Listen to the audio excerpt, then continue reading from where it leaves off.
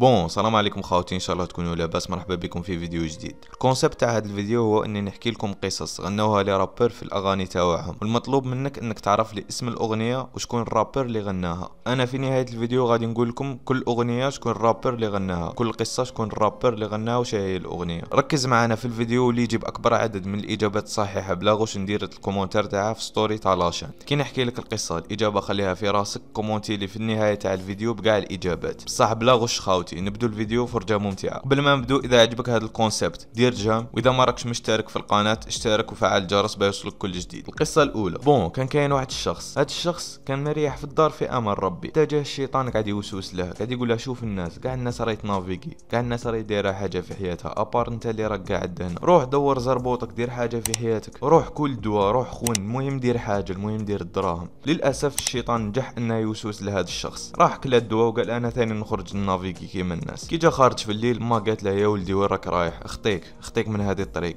قال لها أنا صايم فات عليا الحل. آه صايم كاش حل؟ وما دارش على الهضره تاع امه خرج هذا الشخص من الدار قاعد يمشي حتى تلاقى بالعدو تاعه. مع اللي كان كالي دواء دابزو. في الأول دابزو بالهضرة ومن بعد تطورت ولو مدابزين بالمواس. ضربة من الضربات غلط دخل هذاك العدو تاعه خدمي في راسه قتله هنا شي صرا جات la police دخلوه للحبس. حكموا عليه بالمؤبد. كي دخل للحبس هذا السيد ندم. كي ندم تفكر الهضرة تاع ماه كي قالت له يا ولدي خطيك وما دارش عليها. ولكن لا ينفع الندم. شكون هو هذا ال rappeur وش هي الأغنية اللي غنى فيها هذه القصة. إجابة خليها في راسك. كي نقول لك commenter بها commenter بها bon القصة الزوجة. كان كاين واحد الشخص ناس ملاح عاقل يقرا مليح كاع الناس يبغوه. كان يعرف ثاني واحد البنت ناوي على الحلال ناوي باه يتزوج بها هذا الإنسان داروا به رفقاء السوء. علموه الزطلة. ولات النشوة تاع هذيك الزطلة تعجبه زعما تاع كي تكمي الدوخ. خطرة على خطرة ولا هو وصحابه يدافعوا ويشروا طرف ويكموه؟ خطرة كان هو وصحابه كما العادة شراو الطرف باه يكموه. حتى جات الدولة على غفلة. صحابه كي شافوا الدولة هربوا كاع وهو قاعد. قبضات الدولة دخلوه للحبس ضربوه بعام حبس.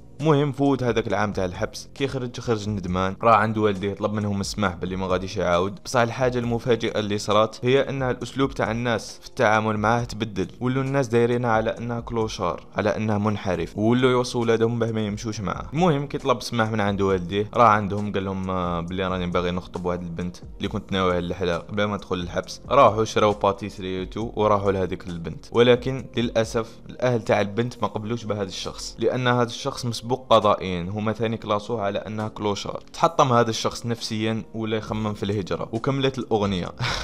شكون هو هذا ال rappeur اللي غنى هذه القصة في الأغنية؟ وش هو عنوان الأغنية؟ قبضها في راسك كي نقول لك commenter بها commenter بها bon القصة الثالثة ماذا بيك ما تسمعهاش مع والديك. ما غاديش نطيحوا لا بصح آه، شوية. احترام راكم فاهمين؟ نحترمكم خاوتي نوصيكم من قبل. تما دير kit main واسمع القصة الثالثة parce que ماشي أنا اللي كتبتها هذه جات في غنية راكم فاهمين؟ قصة حماسية وشابة بزاف ومن النوع اللي تبغوه وما نظنش ان كاين واحد غادي يعرف شكون اللي غناها وش هو عنوان الأغنية تاع اللي غناها. خطرة واحد الإنسان كان شاعل كارو مريح في الحومة تاعهم. كما أي يوم عادي لشاب جزائري. فات عليه واحد البنت لابسة talon. عجباتها اطيرها هذاك الصوت تاع ال talon. طفى هذاك الكارو اللي كان شاعلها وراح عندها قالها معليش أختي خصني ال numéro تاعك. في البداية مبغاتش تعطيه ال numéro. من بعد قاعد يقول فيها بالضحك et tout حتى عطاتها النيميرو. قالت لها عيط لي. هو عيط لها في نص الليل. بدأ يكذب عليها وهي تأمن. هو يكذب وهي تأمن. بعد مدة تطورت العلاقة بيناتهم. هاد البنت ولات تبغيه. بصح هو ما كانش يبغيها. هو كان يشوف فيها فريسه سهلة. من بعد هو كره من هذه la routine مع هاد البنت. قال أنا خصني ندير حاجة أكبر من أني نتلاقى بها ونهضروا برك ما ولاش يرد عليها في التليفون. après هي ولات توحشة قعدت غير تعيط له كي رد عليها قال لها روحي للدار. ناضت نهار السبت قعدت تماكي قعدت توجد في روحها وراحت عندها للدار. وما على بالهاش راهي قارع لها المهم كي راحت عندها للدار دخل الشيطان بيناتهم. وداروا حاجة ماشي مليحة. après كي صرا هذاك الفعل شيرا راحت لدارهم normal وهذاك السيد ندم بزاف. بعد مدة عيطت له. كرد عليها قالت له بلي راني بالحمل والدي ديالو كان يعرفوا غادي يقتلوني غير شوف لنا كاش حل هنا هذاك السيد قبضاتها صدمة كحلة.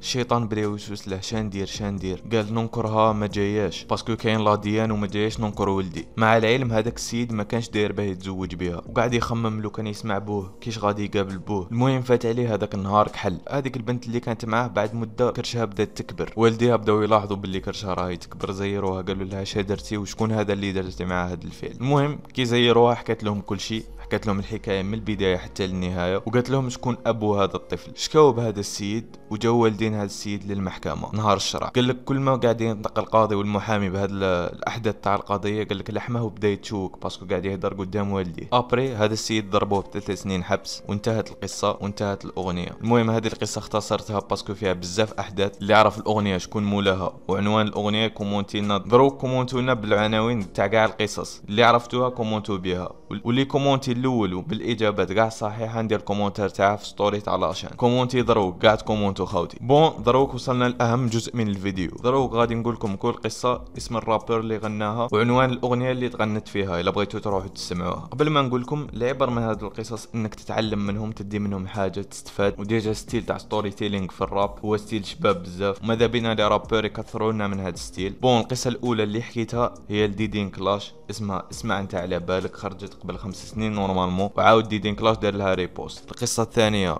أغنية ال rappeur اسواش اللي اسمها فايو والقصة الثالثة هي أغنية تاع يوبي بعنوان لا كامبيوسا ما راهيش باينة بزاف هذه الأغنية بصح غناها بالعامين normalement في هذا الفيديو منها درنا ملخص لثلاث أغاني في الراب DZ storytelling ومنها حكينا لكم قصص درنا لكم ألغاز. إذا عجبك ال concept تاع هذا الفيديو قول لي في les commentaires. قبل ما نكملوا الفيديو ما تنساش دير j'aime. abonner في la chaîne. إذا ما كنتش م abonné و activer la cloche باش كل جديد. كان معاك Prof Rap تهلا بزاف في روحك. وراكم تعرفوا خاوتي الواحد لازم يسي صوالح جدد ما يبقاش carré. شغل ماشي التحليل نقعد لاصق في التحليل نبغي au moins ندير حاجة جديدة. راكم فاهمين؟ إن شاء الله يكون عجبكم الفيديو تهلاو في روحكم خاوتي